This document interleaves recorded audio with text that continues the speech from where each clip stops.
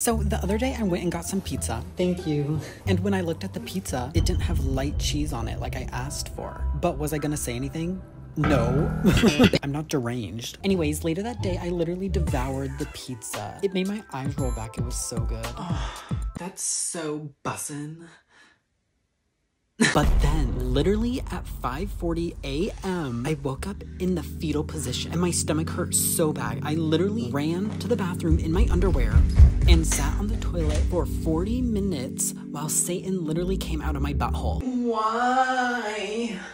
Here's a picture for proof. But yeah, the pizza did be good though.